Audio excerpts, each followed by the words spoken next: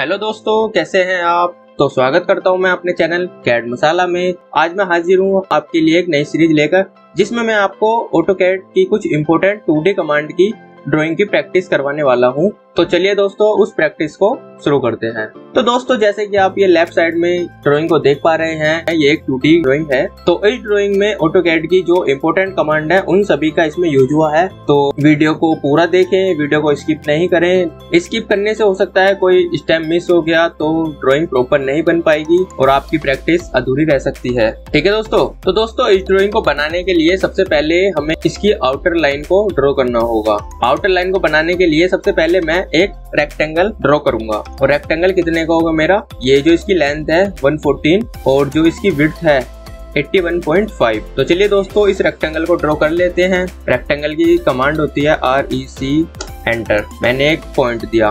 उसके बाद में मुझे देनी है इसकी डायमेंशन तो मैं यहाँ डायमेंशन पर क्लिक करूँगा, यहाँ पर। और ये पूछ रहा है इसकी रेक्टेंगल की लेंथ कितनी है? तो रेक्टेंगल की लेंथ है 114 मैं यहाँ टाइप कर दूँगा 114 ठीक है दोस्तों? अब ये पूछ रहा है रेक्टेंगल की विड्थ कितनी है? तो रेक्टेंगल की विड्थ है 81.5 81.5 ये मेरा रेक्टेंगल बन गया इस तरह से। ठीक है दोस्तों? तो रेक्टेंगल तो हमारा बन गया। अब इसके बाद क्या करना है? तो इसके बाद मैं सबसे पहले ये जो कॉर्नर है एज जो है, ये कट हुए हैं हमारे। मैं इन एज को कट करता हूँ। जो एज हमारे कट होते हैं, उसको हम चैम्फर बोलते हैं। तो चैम्फर ये हमारा कितने डिस्टेंस का लगा हुआ है? जैसे कि यहाँ पे टेन दिखाया हुआ है और यहाँ पर एक्स और वाई दोनों में टेन टेन है। तो चैम्फर की जो डिस्टेंस है हमारी वो टेन टेन है। चलिए उसको अप्लाई कर देते हैं इस बॉडी पर। मैंने दिया सी एच ए एंटर और यहाँ पर मैं दे देता हूँ सेलेक्ट करता हूँ डिस्टेंस को और यहाँ पर 10 है। मैं एंटर कर देता हूँ। अगर 10 नहीं होता तो मुझे 10 फुट करना होता। और यहाँ वाई में भी सेकंड चैम्फर डिस्टेंस भी 10 ही है। मैं अगेन एंटर कर देता हूँ। तो दोस्तों, ये चारों कॉर्नर पर मुझे चैम्पर लगाना है। तो यहाँ मैं यूज़ करने वाला हूँ मल्टीपल का। मल्टीपल से बार बार नहीं लेना पड़ेगा, एक बार में काम हो जाएगा। First line second line first line second line first line second line first line second line ठीक है दोस्तों? तो जैसे कि मैं इस चैम्पर को दिखा भी देता हूँ टी से। ये दस हो गया। और ये भी दस हो गया हमारा। ठीक है दोस्तों, और जो हमारा रेक्टेंगल था, उसको भी दिखा देता हूँ एक बार। ये 114 और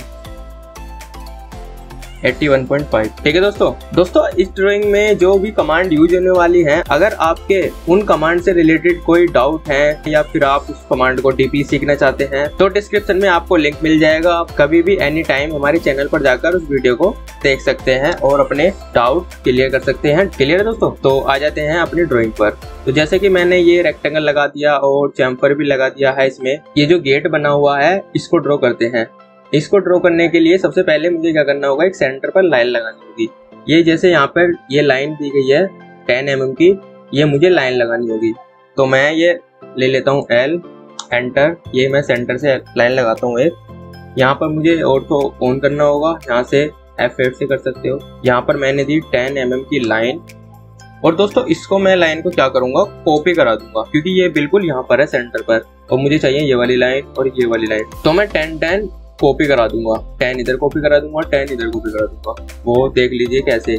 मैंने सेलेक्ट किया बेस पॉइंट टेन दिया इधर और टेन दिया इधर। इस तरह से मेरी लाइन लग गई।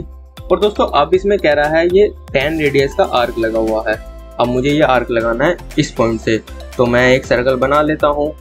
ये मैंने दिया सर्कल और डिस्टेंस दे देता हूँ मैं टेन और अब इसका जो एक्स्ट्रा पार्ट है यूजलेस है, वो मैं कर देता हूँ ट्रिम तो ट्रिम कमांड के लिए मैं देता हूँ टी आर डबल एंटर इस तरह से, और ये भी मैंने डिलीट कर दिया. ये लाइन भी यूजलेस है. ठीक है दोस्तों? देख लेते हैं कि हमने जो लगाई है वो ठीक है नहीं. डी आर ए ये हमारा टेन रेडियस हो गया, और ये डी एल आई से हम लाइन चेक कर लेते हैं. ये टेन है हमारी, और ये ट्वेंटी तो दोस्तों, जैसे कि इधर बना हुआ था, हमारा एक्यूरेट बन चुका है इधर। तो सामने भी उसी तरह से बनाना है हमें। एल एंटर ये हमने दिया टेन की डिस्टेंस और इसको दिया मैंने कॉपी टेन इधर कॉपी टेन इधर कॉपी और अब circle C I enter ten radius का सर्कल और एक्स्ट्रा पार्ट को कर देना है ट्री इस तरह से। ये भी डिलीट ठीक है दोस्तों? डी आर ए एंटर इस तरह से डी एल आई एंटर ठीक है दोस्तों तो हमारे आमने सामने के गेट बन चुके हैं। अब बारी है ये हमारे लेफ़्ट और राइट के जो गेट है, उन्हें बनाने की। तो जैसे कि इसमें चौड़ाई है उस गेट की 24 और रेडियस इसमें है 12 और जो इसकी लेंथ थी लाइन की, वो है 13.5 तो चलिए इसको देख लेते हैं। पहले मैं सबसे पहले सेंटर लेता हूँ। ये हमारा सेंटर है और सेंटर से हमें कितने की लाइन लगानी है इस बार? ये 13.5 की। तो मैंने 13.5 दिया। एंटर सेम उसी तरह से मुझे कॉपी करना होगा ये ऊपर नीचे। मैंने दिया कॉपी कमांड ऊपर मुझे करना है इस बार 24 है तो मैं 12 12 लूँगा। मैंने दिया ऊपर 12 एंटर नीचे भी 12 ठीक है दोस्तों? इस बार जो हमारा रेडियस है, जो आर्क है, वो 12 रेडियस का है। तो ये ऊपर और नीचे वालों में तो मैंने सर्कल्स लगाकर आपको दिखाया था। अब मैं इस यहाँ पर दिखाऊँगा डायरेक्ट आर्क से कैसे लगेगा ये। तो मैं उसके लिए आर्क पर जाता हूँ और यहाँ मैं देता हूँ स्टार्ट एंड रेडियस ये वाला मैं आर्क लेता हूँ यहाँ से। यहाँ मैंने दिया स्टार्ट एंड और अब ये पूछ रहा है रेडियस कितनी है। तो रेडियस मैं इसको दे देता हूँ ट्वेल्व ठीक है दोस्तों? तो ऐसा ही नहीं है सर्कल से ही होगा हमारा काम। डायरेक्ट आर्क से ही हो जाएगा। हम यहाँ पर ट्रिम कमांड यूज़ करने से बच गए। ठीक है दोस्तों, अब मैं यहाँ पर डायमेंशन शो करके दिखा देता हूँ।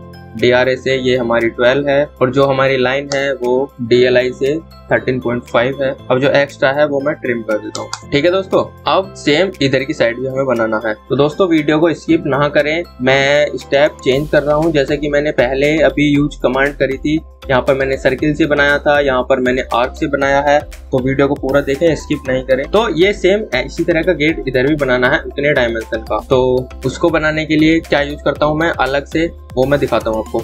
सबसे पहले मैं ये तीनों लाइन को सेलेक्ट करता हूँ और यहाँ मैं देता हूँ join command J enter J enter देने से ये मेरी पूरी लाइन ज्वाइन हो गई। और जो हमारा ये गेट की चौड़ाई थी, वो मैं डीएलआई से एक बार दिखा देता हूँ 24 अब मैं इसको सेलेक्ट करता हूँ। और इसको सेलेक्ट करने के बाद मैं देता हूँ यहाँ पर मिरर कमांड जैसे मैंने इधर भी बनाया था, ऊपर भी बनाया था। सिंपल है ये, हमारा मिरर कमांड से इधर भी कॉपी हो जाएगा और मिरर भी हो जाएगा। तो मैं उसी का यूज़ करता हूँ। तो उसको यूज़ करने के लिए क्या करते हैं? एम आई एंटर मिरर के लिए एक सेंटर पॉइंट देना होता है, एक सेंटर लाइन देनी होती है, जिस लाइन के अकॉर्डिंग वो मिरर होता है। तो यहाँ पर मैं ये मिड पॉइंट दे देता हूँ और ये यहाँ पर ये ये भी मिड पॉइंट दे देता हूँ। तो यहाँ पर ये पूछ रहा है इरेज सोर्स ऑब्जेक्ट तो मुझे इरेज नहीं करना है, मुझे रखना है जो मिरर हुआ है तो नो पर क्लिक है, मैं एंटर दे देता हूँ। तो इस तरह से ये हमारा मिरर भी हो गया। अब मैं यहाँ दे देता हूँ डी आर ए से ट्वेल्व और डी एल आई से तो दोस्तों, उसी तरह से हमारी इधर भी सेम आ चुकी हैं। तो दोनों एक जैसे ही लग रहे हैं, जैसे कि यहाँ पर दिख रहे थे दोनों। ये इतना तो बन चुका है। अब इसमें क्या बचा है? यहाँ पर बचा है ये सर्कल छोटा सर्कल अब इसको लगाने के लिए क्या करना होगा? कैसे बनेगा? वो भी देख लीजिए दोस्तों। तो इसके लिए पहले तो इन दोनों लाइन का कॉर्नर होना चाहिए यहाँ पर, जिससे कि मैं ये 12 और 13 को मेजर कर सकूँ इजीली तो उसको मेजर करने के लिए कैसे करेंगे? मैं यहाँ पर देता हूँ एल एंटर यहाँ पर मैं इस पर लेके जाता हूँ और इस पर लेके जाता हूँ। तो दोनों का इस तरह से ये ग्रीन डॉट आ गई। यहाँ पर इसका ये कॉर्नर आ गया। मैंने यहाँ पर क्लिक किया। यहाँ से नीचे आ रहा है ये 12 तो मैं यहाँ से नीचे आ जाता हूँ। ऐसे उस लाइन को चले चलते और तो ऑन रखना। नहीं तो मिस्टेक हो सकती है। लाइन इधर उधर जा सकती है। यहाँ मैंने पुट किया 12 और जो हमारा एक्स एक्सिस है एक्स में जा रहा है हमारा थर्टीन तो ये मैंने दिया थर्टीन ठीक है दोस्तों? अब इस सर्कल का हमारा सेंटर आ चुका है। यहाँ पर इस इस सेंटर से मैं सर्कल बनाऊँगा। कितने रेडियस का है? फाइव ये मैंने बनाया फाइव रेडियस का सर्कल मेजर कर लेते हैं एक बार। ये फाइव और जो लाइन है हमारी, उन्हें भी चेक कर लेते हैं कि हमारी लाइन ठीक है या नहीं। तो जैसे कि इधर है थर्टीन ट्वेल्व उसी तरह से हमारी सेम आ चुकी है। ठीक है दोस्तों? अब जो लाइन लगाई थी, वो मैं डिलीट कर देता हूँ। अब ये तीनों कॉर्नर पर और लगाना है। तो इसको मैं सेलेक्ट करता हूँ सेम उसी तरह से मैं आप देता हूँ मिरर कमांड और जो सेंटर था सेंटर लेता हूँ इस तरह से। एंटर दे दिया मैंने, मुझे इरेज नहीं करनी है। और अगेन मैं यहाँ पर, इन दोनों को मैं सेलेक्ट करता हूँ। और अगेन देता हूँ मिरर कमांड इस बार सेंटर ये वाला देता हूँ। इस लाइन के अकॉर्डिंग हमें ये मिरर करानी है। इस तरह से एंटर तो फाइनली हमारा जो ऑब्जेक्ट है, वो बनकर रेडी हो चुका है। अगर आपको कोई डाउट है या फिर कोई क्वेरी या सजेशन है तो आप कमेंट सेक्शन में ड्रॉप कर सकते हैं। कोई स्टेप मिस हो गया है तो प्लीज़ वीडियो को अगेन ठीक से देखें। और जैसे कि इसमें अभी ये कुछ चीज़ें रह गई है डायमेंशन क्या ये हमारी इतनी है या नहीं? यहाँ पर तो शो हो रही है बट यहाँ पर मैंने शो करके नहीं दिखाई। तो मैं इनको भी शो करके दिखा देता हूँ। ये डी एल आई एटीन